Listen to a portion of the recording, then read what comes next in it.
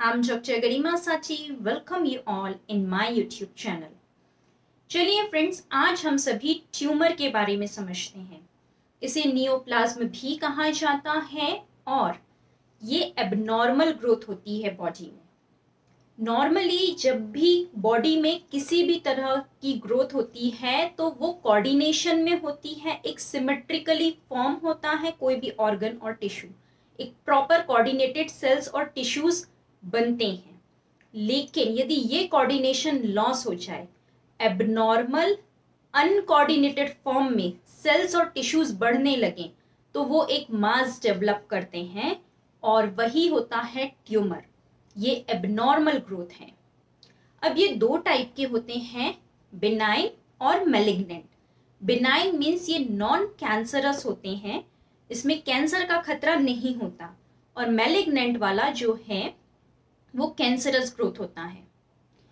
चलिए फ्रेंड्स उसके पहले यदि आप सभी ने हमारा चैनल सब्सक्राइब नहीं किया है तो सब्सक्राइब कर दीजिएगा बेल आइकन ज़रूर प्रेस कीजिएगा ताकि आपको अपडेट्स मिलते रहें। और इस वीडियो को लास्ट तक ज़रूर देखिएगा। हम कुछ होम्योपैथिक मेडिसिन प्रॉपरली डिस्क्राइब करेंगे, जो कि इस ट्यूमर को हेल्प कर सकती है क्योर करने के लिए। और हम समझेंगे आज की ट्यूमर ट्यूमर के सिम्टम्स सारी चीज़ें, ये क्या और कैसे डेवलप होता है? तो चलिए जुड़े रहिए हमारे साथ। तो ट्यूमर्स के जो सिम्टम है, वो उस एरिया के हिसाब से होते हैं, जिस एरिया में ट्यूमर होता है। पेंक्रियाज में होगा तो उससे रिलेटेड इश्यूज़ होंगे। हो सकता है बहुत ज़्यादा इंसुलिन का प्रोडक्शन होने लगे और शुगर लेवल बहुत डाउन होने लगे। ब्रेन में है तो कोई नर्व कंप्रेस कर सकता है, कुछ और एबनॉर्मेलिटीज प्रोड्यूस कर सकता है। ब्रेस्ट में है तो पेनफुल हो सकता है यूट्रस में है तो ब्लीडिंग हैवी कर सकता है। डिपेंड करता है अलग अलग ट्यूमर पे। इसे हम अलग अलग टॉपिक में पर्टिकुलर ट्यूमर को जब समझेंगे तो वहाँ पर उसके सिम्टम्स जानेंगे। अब हम इसके टाइप्स की बात करते हैं तो पहला है बिनाइन ये जो है नॉन कैंसरस होता है, अभी जैसा हमने एक्सप्लेन किया था। तो इसमें जो ग्रोथ होती है, वो एक पर्टिकुलर एरिया में लोकलाइज्ड होती है। और सरकमस्क्राइब मीन्स गोल ट्यूमर बनेगा, अक्सर कर इसमें। और ये कैंसरस में नहीं टर्न होता है। इसमें आते हैं जैसे यूट्राइन फाइब्रॉइड हो गया, या फिर मिलेनोसाइटिक नेवी हो गया, या ऑस्टियोफाइट्स हो गए, ये सभी ट्यूमर बिनाइन में आते हैं। नेक्स्ट वेराइटी है पोटेंशियल मैलिग्नेंट ये कहलाते हैं कार्सिनोमा इन सीटू मीन्स ये एक जगह पर स्थिर तो रहेंगे, ना ये इन्वेट करते हैं किसी और एरिया में, ना किसी तरह का कोई डिस्ट्रक्शन करते हैं। लेकिन इनमें कैपेबिलिटी होती है कि ये कैंसरस में टर्न हो सकते हैं। और लास्ट है मेलिग्नेंट नियोप्लास्ट तो ये ऑलरेडी कैंसरस होते हैं, एक जगह पर तो रहते ही हैं इन्वेट करके किसी और जगह पे भी चले जाते हैं, इसे मेटास्टेसिस कहते हैं। और दूसरी जगह जाके भी ऑर्गन्स को डिस्ट्रॉय करते हैं और पूरी बॉडी में इन्फेक्शन प्रोड्यूस कर सकते हैं, पूरी बॉडी में कैंसरस टिश्यूज स्प्रेड कर सकते हैं और ये fatal means leading to death भी हो सकते हैं। सेकेंडरी नियोप्लाज्म भी एक चीज़ है, वो क्या होता है? जैसे कोई प्राइमरी ट्यूमर है उसको ट्रीट किया। या किसी तरह की कोई कैंसरस ग्रोथ है, उसका ऑपरेशन हो गया कीमोथेरेपी रेडियोथेरेपी सब कुछ हो गया पेशेंट ठीक होकर आ जाए। लेकिन उसके सेकेंडरी उस ऑपरेशन उस थेरेपी के बाद जो रेडिएशन है, उसकी वजह से एक न्यू ग्रोथ का फॉर्मेशन होना, वो कहलाता है सेकेंडरी नियोप्लाज्म अब हम डिफरेंस समझते हैं नोड्यूल और ट्यूमर के बीच का। तो 20 एम mm के साइज़ से जो छोटा होता है, वो नोड्यूल होता है और उससे बड़े साइज़ का जो भी ओवरग्रोथ है, वो ट्यूमर कहलाता है। चलिए फ्रेंड्स अब हम इसके कारण समझते हैं कि किस वजह से ऐसी ओवरग्रोथ होती है। जेनेटिक म्यूटेशन की वजह से। फैमिलियल हिस्ट्री मीन्स फैमिली में किसी के ट्यूमर है तो वो हिस्ट्री रन कर रही है। हार्मोनल हो सकता है किसी तरह की सर्जिकल ऑपरेशन के बाद की हिस्ट्री मीन्स पोस्ट सर्जरी भी किसी किसी को ट्यूमर बन जाते हैं। किसी तरह का आउटफ्लो की ट्यूब हो, वहाँ पर ऑब्स्ट्रक्शन हो जाए, वो आउटफ्लो प्रॉपर ना हो पाए या उस नली का नैरोइंग होना, सकरा होना तो उसकी वजह से बैक फ्लो जब होगा तो उस एरिया में ओवरग्रोथ हो सकती है और ऐसा अक्सर देखा जाता है। या डीएनए डैमेज होने की वजह से डीएनए में म्यूटेशंस होने की वजह से भी ये ट्यूमर होते हैं। तो जेनेटिक म्यूटेशन भी इसका एक बहुत बड़ा कॉज है। हम इसके कुछ रिस्क फैक्टर्स समझते हैं जो कि एक्सोजीनस कॉज हैं, जैसे कि तंबाकू बहुत ज़्यादा खाना या फिर अल्कोहल लेना सिगरेट्स पीना बहुत ज़्यादा ओबेसिटी भी इसका एक रिस्क फैक्टर है।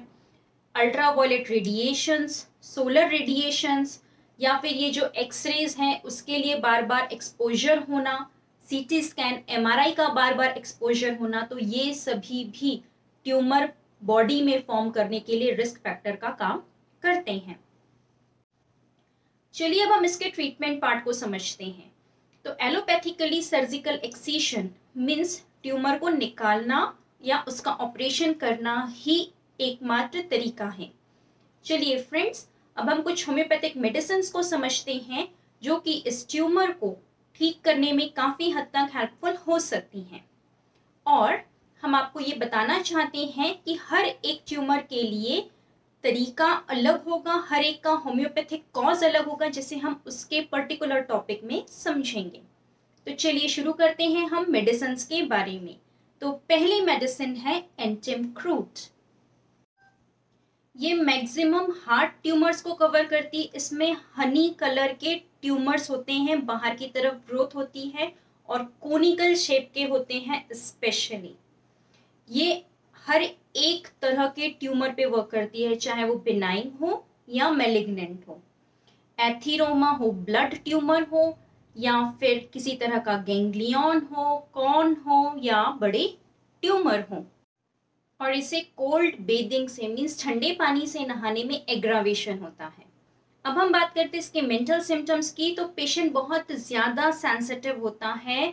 उसे चाँद की रोशनी बिल्कुल पसंद नहीं आती, उस टाइम उसका मूड बहुत सेड होता है डिप्रेस्ड होता है सुसाइडल थॉट्स बहुत ज़्यादा रहते हैं उसे, और उसे किसी का भी टच करना या कोई उसकी तरफ़ देखे भी, उसे सहन नहीं होता है।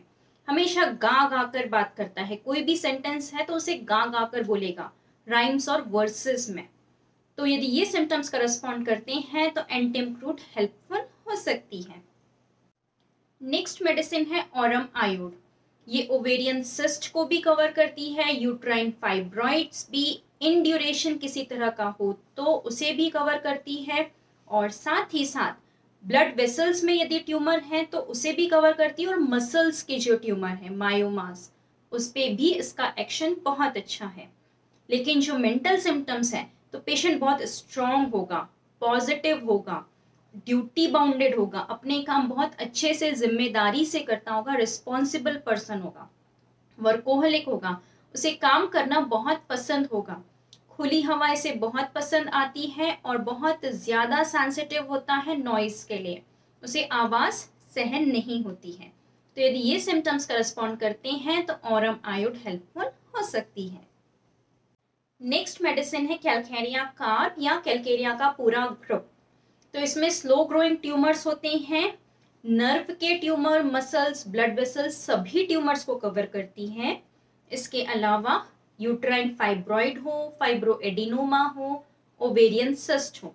सारी चीज़ें कवर करती है ये मेडिसिन लेकिन इसके साथ एक प्रॉब्लम ये होती है कि जो ट्यूमर्स हैं, वो सेपरेटिंग होते हैं मीन्स उसमें पस का फॉर्मेशन देखा जाता है।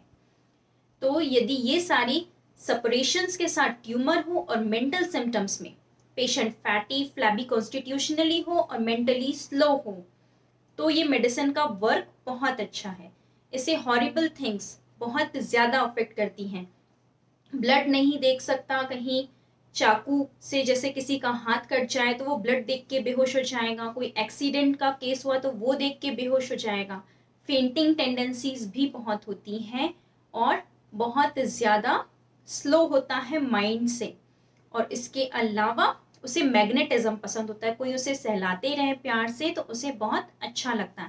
तो ये सारी चीज़ें यदि करस्पॉन्ड करती हैं तो कैलकेरिया भी हेल्पफुल हो सकती है। नेक्स्ट मेडिसिन है कोनियम मैक। इसका सबसे अच्छा रिज़ल्ट फाइब्रो एडिनोमा पे देखा जाता है। लेकिन ये बाकी ट्यूमर्स पे भी वर्क करती है और इसका कॉज होता है आफ्टर इंजरी ट्यूमर का बनना। किसी भी तरह की कोई चोट हो, उसके बाद यदि उस जगह पे ट्यूमर बन जाए तो इसका एक्शन बहुत अच्छा है। हम बात करें मेंटल सिम्टम्स की तो पेशेंट बहुत डिप्रेस्ड होते हैं, बहुत ज़्यादा सैड होते हैं, कोई भी काम में उनका मन नहीं लगता है, किसी चीज़ में इंटरेस्ट नहीं होता है। और पुराना जो भी पास्ट होगा, बुरा बीता हुआ समय, उसे कंटिन्यूस याद करते रहना, जो भी डिसअग्रिएबल इवेंट्स होते हैं, उसके बारे में सोचना। और ज़रा सभी चीज़ होगी तो वो उन्हें बहुत ज़्यादा इंपॉर्टेंट लगेगी। मीन्स छोटा सा काम इंपॉर्टेंट लगेगा और इंपॉर्टेंट काम को वो इग्नोर करते हैं। तो यदि ये सिम्टम्स करस्पॉन्ड करते हैं तो कोनियम मैक हेल्पफुल हो सकती है। नेक्स्ट मेडिसिन है आयोडम तो आयोडम के जो भी ट्यूमर होंगे, वो हमेशा फास्ट ग्रोइंग होते हैं रैपिड होते हैं, बहुत जल्दी बढ़ते हैं। क्योंकि मेंटली भी पेशेंट बहुत फास्ट एग्रेसिव और वॉयलेंट होता है। तो इसका फ़िज़िकल जो ग्रोथ है, वो भी इसमें जो ट्यूमर्स की ग्रोथ है, वो भी फास्ट रैपिड होती है। और इनमें जो मेंटल सिम्टम्स हैं, वो है कि सुसाइडल टेंडेंसीज बहुत होती है, बहुत ज़्यादा सैड और डिप्रेस्ड रहते हैं, हर चीज़ में जल्दबाजी रहती है, हरी रहती है, कि जल्दी से ये काम कर लो बस। और लोगों का साथ उन्हें पसंद नहीं आता है अवर्जन टू कंपनी रहता है। तो यदि ये सिम्टम्स करस्पॉन्ड करते हैं तो आयोडम हेल्पफुल हो सकती है। लास्ट मेडिसिन है कैलकैरिया फ्लोर तो इसमें ब्लड वेसल्स के मसल्स के ट्यूमर्स देखे जाते हैं। इसके अलावा ये गैंग्लिया कॉन खिलॉइड इन सभी पे भी वर्क करती है। लेकिन इसके जो ट्यूमर होते हैं, बहुत ज़्यादा हार्ड होते हैं। इसका बोन ट्यूमर्स पे भी स्पेसिफिक एक्शन है। और जो भी ट्यूमर होंगे, बहुत हार्ड और पेनफुल होते हैं। हम बात करें इसके मेंटल सिम्टम्स की तो बहुत ज़्यादा पेशेंट चिंतित रहता है एंग्विश होता है रेस्टलेस होता है, एक जगह से दूसरी जगह मूव करता रहता है, अक्सर और फियर ऑफ़ पावर्टी होता है। गरीबी का डर कि बस मैं गरीब हो जाऊँगा, मैं अपना बिज़नेस नहीं संभाल पाऊँगा, बहुत टिमिड होता है और उसे किसी ना किसी का सपोर्ट चाहिए होता है। तो यदि ये सिम्टम्स करस्पॉन्ड करते हैं तो कैलकेरिया फ्लोर हेल्पफुल हो सकती है। चलिए फ्रेंड्स आज का टॉपिक यहीं कंप्लीट होता है। जल्दी मिलते हैं अगले टॉपिक के साथ। और हमारी क्लिनिक का एड्रेस व कॉन्टेक्ट नंबर इसी वीडियो के डिस्क्रिप्शन लिंक में दिया गया है। और हमारी आप सभी से रिक्वेस्ट है, कोई भी मेडिसिन डॉक्टर से कंसल्ट किए बिना मत लीजिएगा। कंसल्ट करेंगे हिस्ट्री प्रॉपर देंगे तो जो मेंटल सिम्टम्स हैं, उससे मैच करके जब मेडिसिन दी जाती है तो उसका एक्शन परफेक्ट होता है। ऐसे ही यदि कोई मेडिसिन लेंगे तो प्रॉपर एक्शन नहीं करेगी। और हमारे चैनल को सब्सक्राइब कर दीजिएगा बेल आइकन ज़रूर प्रेस कीजिएगा। Stay connected to stay healthy thank you